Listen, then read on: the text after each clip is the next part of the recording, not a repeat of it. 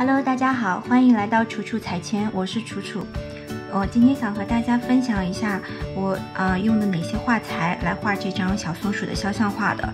在这个时间轴影片之前，我想先给大家看一下我用的是一些什么材料。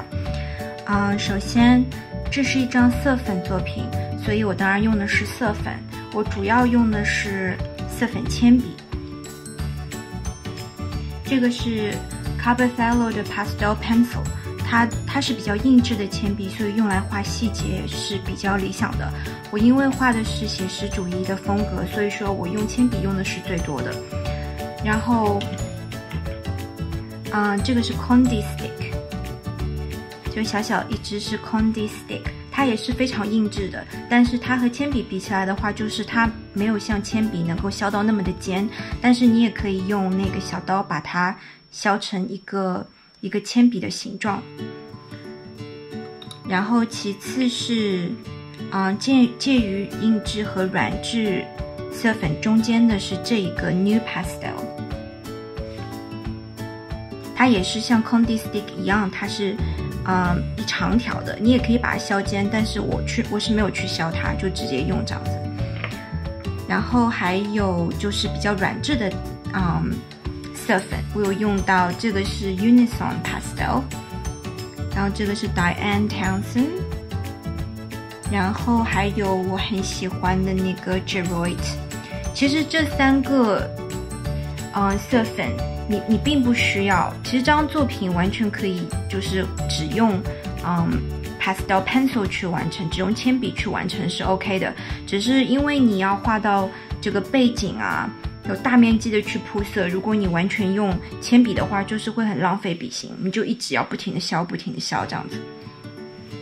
然后其次还有就是我用的这个纸头，我觉得对于你用的是什么色粉来说，其实用的纸是更加关键的哦。我忘刚才忘记和大家说了，这个 Pan Pastel，我在画背景的时候，因为想要一个非常柔和的一个视觉效果，所以说我用了这个 Pan Pastel。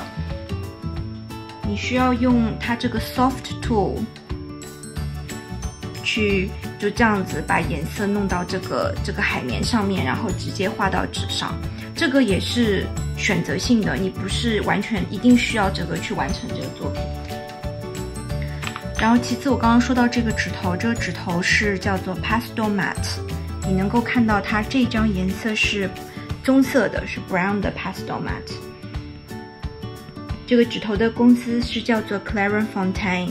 然后这个纸它非常好用，它不会像我们真的说的那种砂纸那么的粗糙，它表面是相对比较光滑的，所以你可以用手指去涂抹。我认为其实这么多的、这么多的，就是混色的工具，像这个 Paper Stump，这个应该是很常用的。以前画素描的时候一直会用到这个。我觉得所有的工具都不如我们的指腹来的好用。手指就是我们最好的工具。然后在这个这个纸上，如果你用手指去涂抹颜色的话，你不会让手指变得非常痛。如果你用的是传统的砂纸 （sandpaper），我不建议用手指去混色，真的你的皮可能都会掉下来。你画完之后，接下来大家可以看到我第一支用 GoPro 制作的时间轴影片。嗯，开头做的并不是很好，是因为就是 setting 方面的问题，我不是很熟悉嘛，就是第一次用。但是后面的后半部分，我觉得拍的还是比较清楚的，你可以很清晰的看到我作画的整个流程，大概的一个步骤这个样子。然后对我频道有兴趣的同学们，嗯，不要忘记点赞加订阅。然后我会多多努力，多多做出对大家有帮助的视频。大家也可以留言告诉我你想看到一些怎样的内容，我也会后续做一些，就是可能可能是啊、嗯、教学类的视频这样子。好，谢谢大家来到我的频道，我是楚楚，拜拜，下回见。